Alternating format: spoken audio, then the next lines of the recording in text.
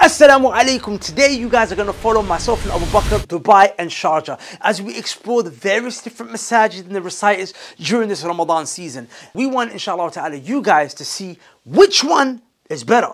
We're actually putting Dubai up against Sharjah to see which one provides the best Ramadan experience in terms of the masajid and the reciters. Now, me, I have my personal biases and inclinations towards Dubai, but as you can see at the end of the vlog, it was a big shock factor for me when I went to Sharjah. I was amazed. But anyways, I want to see what you guys found to be the most interesting, inshallah ta'ala, Dubai or Sharjah. So this is Masjid Hind. It is one of the best masajid here in Dubai. They bring reciters from all over the world. Literally every night is is a treat, is a different reciter. الحمد لله الذي خلق السماوات والأرض وجعل الظلمات والنور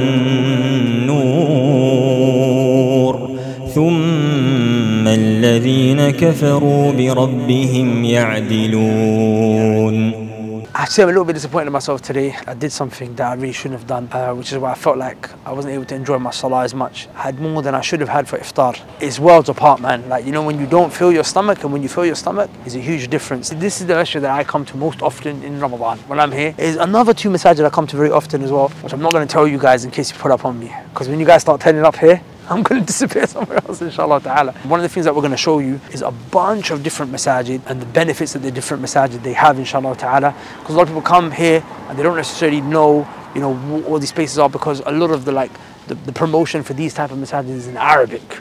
We've got uh, Ra'ad al-Kurdi who is here in Khawanij. Oh wow, look at the moon. Can you see it? I'll try and get a close up later. Okay. But you can see on camera, yeah. Um, oh, we're also going to go to Sharjah. We're going to go, be going to uh, two massages in Sharjah, inshallah, just so you guys can see, so you guys can experience Ramadan in Dubai, inshallah ta'ala. And Sharjah.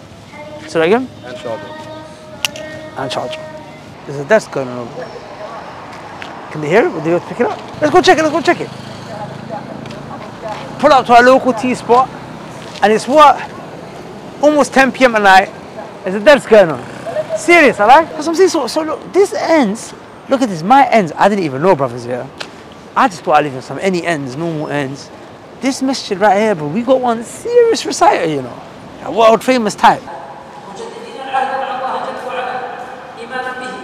There's a desk going on.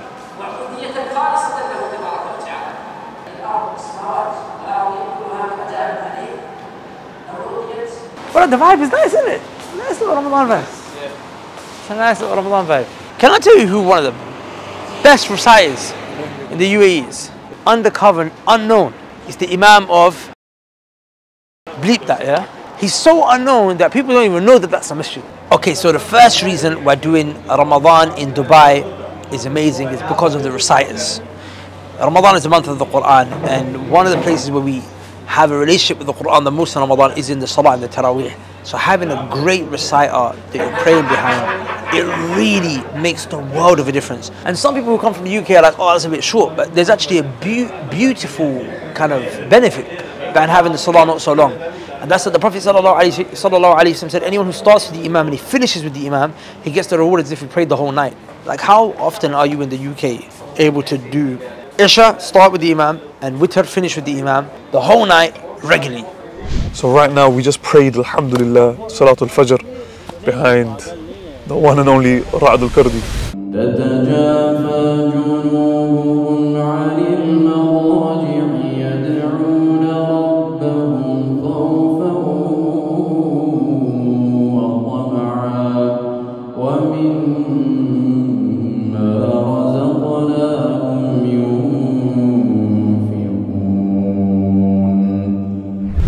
And that's one of the beautiful things about here in the UAE. You don't know who's going to pull up, when they're going to pull up, who's going to be the reciter. And you find some of the best reciters in the world coming here. And honestly, wallahi, it just makes Ramadan even better. Especially when you consider that even the base regular reciters are so good. May Allah make it easy for each and every single one of you to do hijrah and come here and enjoy Ramadan here, man. Yeah, that was a beautiful salah, alhamdulillah. But um, it's a link up of uh, a lot of people. Me personally, I'm not really in public like that, man. I don't really like meet up with people and take pictures. So that kind of threw me off, man. I just came for salah and you have like a lot of faces, and you know everyone's taking pictures. One of the people take pictures, telling me take pictures. I don't want to do any of that. Guys, you have to adapt to the Muslim um, Ramadan and Muslim country schedule. So we came here for gym right after Jum'ah, but I said the gym only opens at 4 p.m. You know? I was actually thinking to myself, yeah, that I don't know if it's a good idea to go to gym this early. You know why? Because one of the reasons why you're not allowed to vomit, you're not allowed to force yourself to vomit when you're fasting, because it makes you weak. So I was thinking, I wonder if it would be makruh to go to the gym this early on in the day. Now maybe going like just before iftar, maybe That's the best. That's the second best option. second, right? Yeah. So, and that's what it's supposed to be anyway, it's just that they booked the podcast at this time. So, guys, um, we are gonna go do a Righteous Rich podcast, inshallah, which is gonna come out Monday next week. Um, this one's gonna be just me and Abu Bakr. We're gonna speak some, some truth today, inshallah ta'ala, on the camera. It's very relevant to Ramadan because we're looking at money from a spiritual perspective. Assalamu alaikum, yeah? Also, Sheikh Khalid Ismail, we're gonna go pray in his masjid today. والله الإخوة يا شباب حرام خسارة عظيمة but to show you guys the masjid and whatnot. But he's not leading today, he's not leading tomorrow either, which means we're going to rain check. Remember I told you there was a secret masjid, an exclusive masjid, a hidden masjid with a reciter that is. yeah, also, there was um, there's two brothers that I met in the masjid, mashallah, very nice brothers, Allah barik, um, Brother Tayyib, Brother Carlos, and I invited them to uh, just sit in when the podcast recording. And, um, we should remove the general discussion um, category. And I think if you just have really good, engaging categories, it directs the conversation in a particular way. Um, and if you restrict the topics that people can post on, i.e., you remove any posts that are not about a particular topic.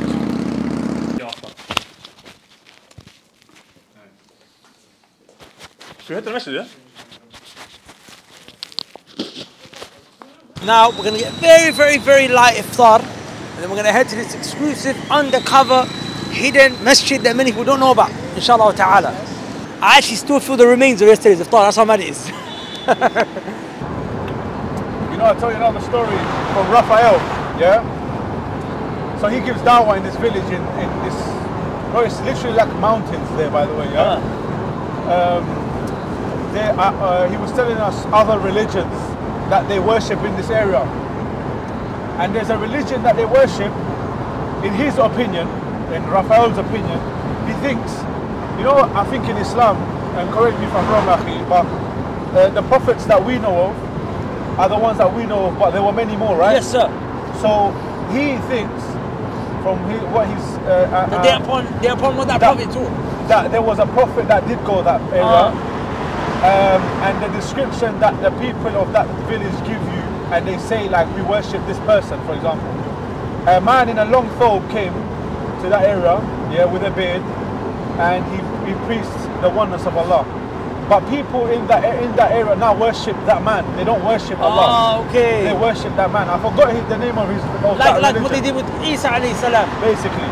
Um, I forgot the name. I'll, I'll, I've got Yeah. it written down. The name of that religion. Yeah, because Allah said every people, Allah sent them a yeah, prophet. yeah, yeah, yeah, hundred percent. So Alhamdulillah, we just had a quick little iftar, and now we're here at City Walk in this masjid, about to pray. Beautiful masjid, beautiful area, and uh, yeah, man, let's get inside, read our sunnah, and then uh, get ready for uh, Tarawih, inshallah.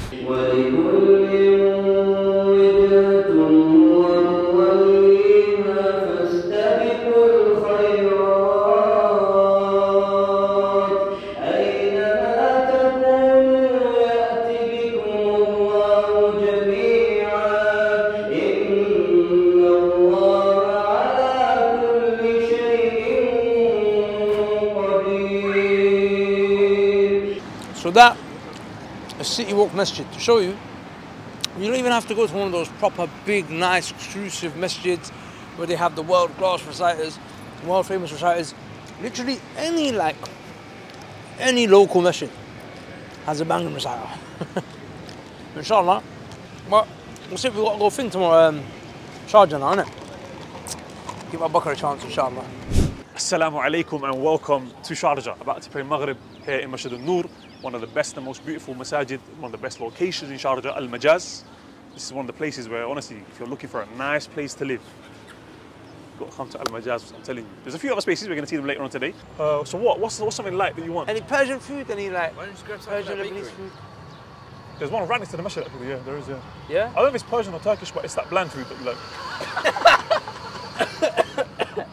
no, no, no, One second, one second, one second. One second. no, I just realized. One second. No, Keep no, one it. As Keep in, it. Generally speaking, I'm not a fan of bland food. I don't. I like my spicy food in it, so I'm into my. But, but Bland food that you like. no, no, no. But I can't lie. Uh, like Turkish li- li- Lebanese food, they add the sauces after. So it's like you can choose whether you want that flavour. For me, it's just I just need that flavour from the get. You get me? I need those spices and those those seasonings.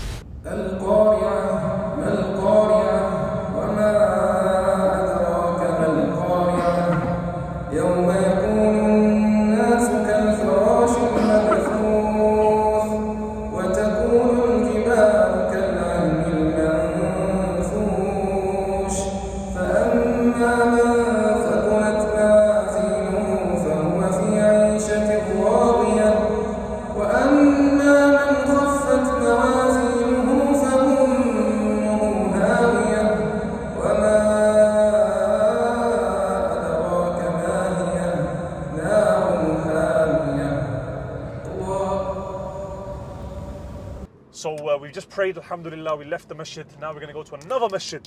Uh, this is uh, masjid uh, in Al Zahia community. That cat.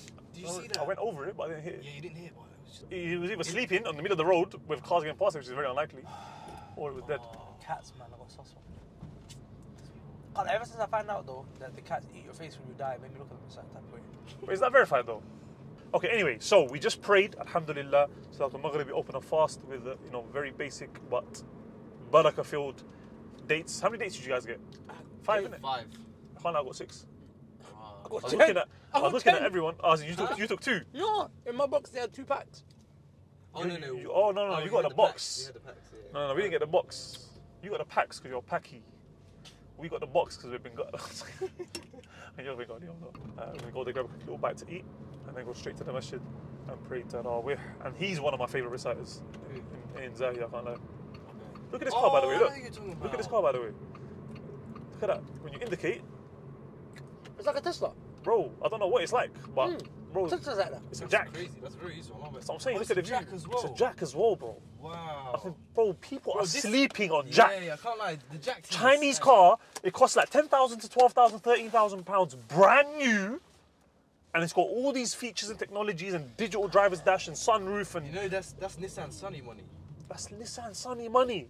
That's crazy. You know? Sunny money. Really? Because the Nissan Sunny is nothing compared to That's this. what I'm saying, The bro. Nissan Sunny is dead That's what compared I'm to this. saying, bro. It's got a pan roof. Salam wa rahmatullahi wa barakatuh. We get a table for four. Listen, could he pattern for us, our African brothers there? Just generally, you can pattern anyone, international, anyone. No, but if he's Everything except flights. But he must know the law in it for Africa.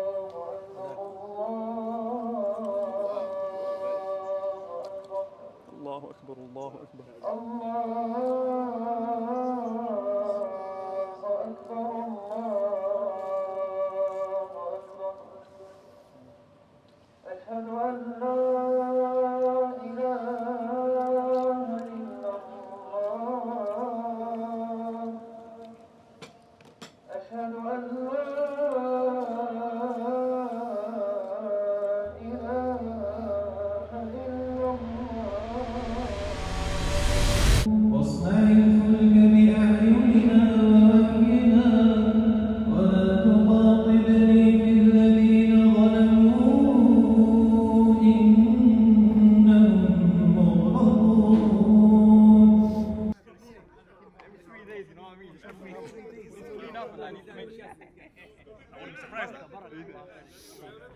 prayed the Tarawih in Al Zahi, Alhamdulillah, and we decided to come to this bakery for some desserts, Alhamdulillah. It's called Mamadou Konate Bakery. Mamadou, Allahumma barik. Mamadou. Mamadou. Mamadou. Mamadou. That is in Mamadou, but without the It's a name. Mamadou. I, I think it means Muhammad. I wouldn't be I'm surprised. not 100% sure, but it's, Yeah, I think it is. Or like Mahmoud. Yeah, uh, it's a name. It's a name. Yeah, so we're here at the Mamadou Konate Bakery, Alhamdulillah. They got some amazing desserts, fresh breads. Uh, we're about to try some. You know, can't lie, it's looking juicy. Some strawberry tarts. What did you get? Something with vanilla, caramel, and chocolate. It's, it's just an amazing vibe. It's a I'm family-run business, practicing couple, mashallah. They've got the kids. The kids are running around playing, they're doing the homework on the table inside. So what's the address if people are looking? Like, how could they find this location? Well, you just got to type in Mamadou Konate Bakery. can- can you get it fully? Right opposite Al Zahia. So Al Zahia that way. Yeah, yeah, in Sharjah. But It doesn't matter where you are. If you're in Dubai, you're in Ras Al Khaimah, you gotta come here try this out, man. There's, there's, there's something in your brain that lets you know when you're going to sleep. Caffeine blocks it. Adenosine. what- Adenosine, right? Is it adenosine, right? Or a sedanin. No, no. it's- It That's begins with 12 A. hours before. So basically, it can- Adrenaline. no, no, no, no. it can stay. in- Melanin. no, it's uh, Melatonin. makes your skin. No, melanin. It makes your skin uh, darker. No, it's not melanin. It is melanin. added bro to the group chat. Melanin? Yeah. How do you argue? Melanin makes your skin The thing, uh, darker. the- the- the- Six skin the- pigmentations. thing- Melanin is It's called melanin? Melanin. Yeah, there's melanin and melatonin. Listen, let us know in the comments. Is it melanin? Is it melatonin? Is it The dark skin you are. Okay, so I've got melanin in my skin. No, you're not dark skin, brother. No, it's not. I've got He's something. got some in it. He's not. Oh, okay. No, everyone has some sort of melanin in Yeah, there. I've got something, obviously. No, no. White people don't have melanin. They do. You must have some level, bro. They, they have some, but They it's look- not like. Unless they all look like Casper, Who's Casper? the ghost. Bro, this is the funniest conversation. Alright, anyway. Anyway, the bakery. Back yeah, to the vlog. The bakery. The con- Focus on the bakery. He never knew what adrenochrome was. No, the point I was making was that I will not sleep. I will. I will not have coffee. I will not have coffee 12 hours before sleeping. Because I saw a podcast by what's his name, Andrew Huberman. He said it.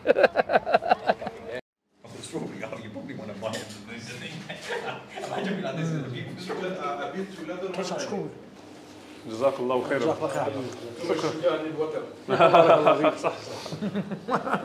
You've got a separate floor for women, separate floor for men. yeah. No, no, no. Well fit. well fit. A separate floor for men, separate floor for women. You've got like all these shops and stuff, little No, I can't lie, this is a no-brainer. Why did no one tell me about this? maple bit. Bro, we I was telling you you about it, a bro. You're like, no. Me and Abu Bakr are there and we're like, listen, listen, come Sharjah, yeah? no, and you're I- like, nah, nah, I like Dubai, bro, I like Dubai. You know, it's funny. My I met him Imran like, I think like a year ago and this is the exact conversation we we're having and you were like, nah, you know what, I like Dubai, man. I like, like, it's, it's alright here. I like, I like being there at the airport, that's what you said. I just, it's done. I just need to know how I can get a villa here. Bro, they're So booked, we they're gone. that And plus you're looking at, minimum you're looking at one mil. GBP. Oh, so you're talking about rent. about rent. Talking rent. You're I'm talking not about rent. Okay, in terms of trying rent, yeah, I think they're available to be oh, honest in yeah. rent. You're probably looking at about 180, 200. So, guys, that was like 48 hours through Dubai and Sharjah. Let me know in the comments which one won. Which one do you feel provided the best Ramadan experience? Now, we're going to be carrying on showing you throughout Ramadan the experiences of Ramadan in Dubai and Sharjah in more detail and so much more. Inshallah ta'ala, if you benefit from this and you really enjoyed it and you felt like you learned and got some insight, click the subscribe button. The reason why the subscribe button is important is because it lets me and Abu Bakr know the type of content that you guys want to see. If the subscribe buttons are being clicked, then we know, okay, show you more of this. And by the way, it's never repetition. It's always going to be bigger and better every time. So click that subscribe button and I'll see you next week, same time for another vlog. Assalamu alaikum. Peace.